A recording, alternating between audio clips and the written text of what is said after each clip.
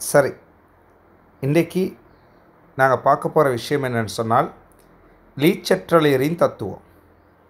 ஒரு இரசாயன சமநிலையை விளங்கி கொள்கிறதுக்கு நாங்கள் ஒரு இறங்கும் படிக்கட்டு எஸ்கலேட்டர். இதை நீங்கள் எடுத்துக்கொண்டால் ஒரு எஸ்கலேட்டர் ஒன்று கீழ் நோக்கி பயணிக்கிறது ஒருத்தர் வந்து மேல் நோக்கி பயணிக்கிறாரு ஆனால் அவர் வந்து மேல் நோக்கி பயணிக்கிற நேரம் ஒரு இடத்துல என்ன செய்கிறாது அது கீழ் நோக்கி பயணிக்கிற வேகமும் வி டவுனும் வி இவர் மேல் நோக்கி பயணிக்கிற வேகமும் அந்த இடத்துல கதியும் என்ன? சமனாக இருக்கும்னு சொன்னால் இரண்டு கதியும் சமனாக இருக்கும்னு சொன்னால் அவர் ஒரு சமநிலையில் இருப்பாது இப்போ திடீர்னு நாங்கள் என்ன செய்கிறோம்னு சொன்னால் இதில் கதையை கூட்டி விடுறோம்னு வைப்போம். வி டவுனை கூட்டி விடுறோம். ரைட் அப்போ வி டவுன் கூட்டினத்தொன்னே இவர் மீண்டும் சமநிலை அடையணும்னு சொன்னால் இவர் என்ன செய்யணும்னு சொன்னால் இவர் மேலே போகிற கதியை கூட்டினால்தான் எங்களுக்கு என்ன? அவர் திரும்ப சமநிலையை அடைய முடியும். அப்போ இந்த இடத்துல சமநிலையில் வந்து என்ன ஒரு குழப்பம் நடந்தால் அதற்கேற்ற மாதிரி இவர் தனது வேகத்தை என்ன கூட்டி திரும்ப ஒரு சமநிலை அடையணும் சமநிலை குழப்பப்படுவது. இதைத்தான் பிரெஞ்சு விஞ்ஞானியான லீ செட்ரலியர் தெளிவாக விளக்கப்படுத்தினாது எவ்வாறு சமநிலையை மீண்டு வருவது சமநிலை மீண்டும் கொண்டு வரதுங்கிற ஒரு விஷயம். ரைட் மாற்றம். அப்போ ஒரு குறிப்பிட்ட ஒரு சில மாற்றங்கள் எவ்வாறு எங்களுக்கு இரசாயன சமநிலையில் பாதிப்பை ஏற்படுத்துது? அந்த பாதிப்பிலிருந்து இரசாயன சமநிலை எவ்வாறு மீளுதுங்கிறத பற்றி தான் படிக்க போகிறோம் ரைட் இப்போ ஏயும் பியும் தாக்கிகளாக நாங்கள் கருதுவோம். அது சியையும் டியையும் விளைவுகளாக என்ன உருவாக்குது? இப்போ நாங்கள் என்ன செய்ய போகிறோம்னு சொன்னால் ஒரு மாற்றத்தை செலுத்தினால் சமநிலை எவ்வாறு குழப்பம் அடைந்து திரும்ப வேறொரு புதிய சமநிலை அடையுதுங்கிறத பற்றி தான் நாங்கள் பார்க்க போகிறோம் ரைட் அப்போ ஸ்ட்ரெஸ் அதாவது நாங்கள் கொடுக்க போகிற அந்த சமநிலைக்கு கொடுக்க போகிற அந்த மாற்றக்கூடிய காரணிகள் முதலாவது எடுத்தீங்கன்னு சொன்னால் செறிவு கன்சன்ட்ரேஷன் சீன்னு சொல்லியிருக்கிறோம். ரெண்டாவது டி வெப்பநிலை. மூன்றாவது அமுக்கம் ப்ரெஷர் சரி முதலாவது நாங்கள் இந்த செறிவை பா பார்ப்போம். ரைட் இப்போ நாங்கள் என்ன செய்ய போகிறோம்னு சொன்னால் இந்த செறிவு மாற்றத்தால் இவ்வாறு சமநிலை மாற்றமடைய போகுதுங்கிறத பற்றி தான் இப்போ இந்த சாப்டரில் நாங்கள் என்ன பேச போகிறோம் சரியா? ரைட் இப்போ நீங்கள் எடுங்க.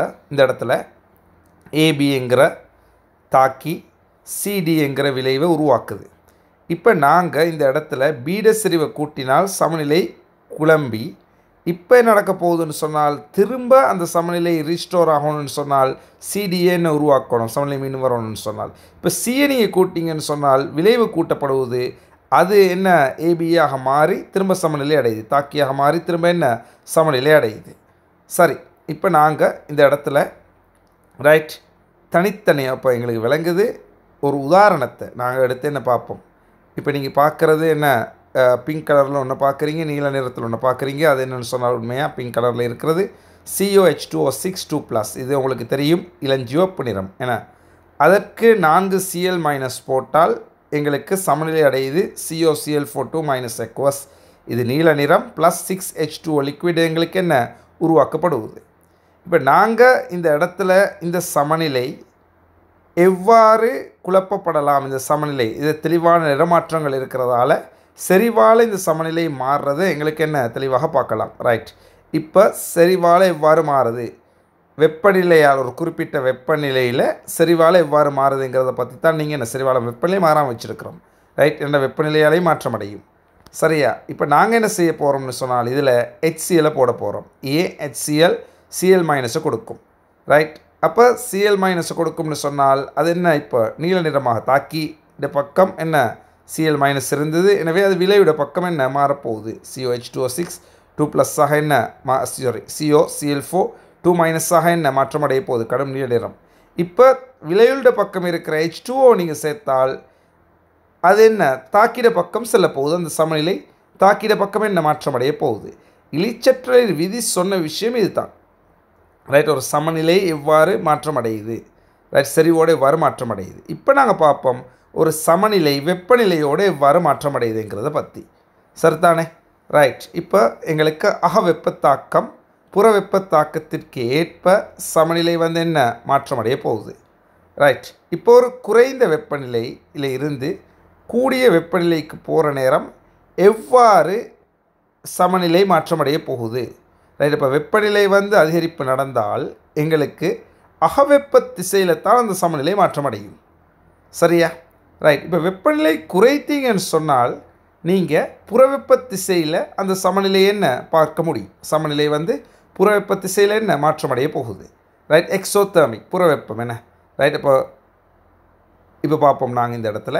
ரைட் இதே தாக்கத்துக்கு பார்ப்போம். இந்த தாக்கம் வந்து இப்போ எவ்வாறு விளைவுகளை நோக்கி எங்களுக்கு செல்லலாம்? என்ன? ரைட் அப்போ இந்த தாக்கத்தை எடுத்தீங்கன்னு சொன்னால் இது தாக்கிட பக்கம் எண்டோதேர்மிக் அதாவது அகவெப்ப தாக்கம். விளைவுட பக்கம் என்ன அதாவது தாக்கிய இது விளைவுகளுக்கு போகிற நேரம் என்ன? எங்களுக்கு அகவெப்ப தாக்கமாக இருக்குது. அப்போ நீங்கள் சூடாக்கினீங்கன்னு சொன்னால் அகவெப்பத்தி சில செல்லும்.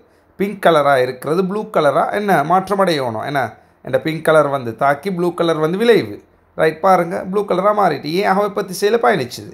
இப்போ இதே ப்ளூ கலர் சொல்யூஷன் நீங்கள் பனிக்கட்டியில் வச்சிங்கன்னு சொன்னால் அது புறவெப்ப திசை. என பிட் அதாவது விளைவுள்ள இருந்து தாக்கியை நோக்கி பயணிக்கும். எனவே அது பிங்க் கலராக என்ன?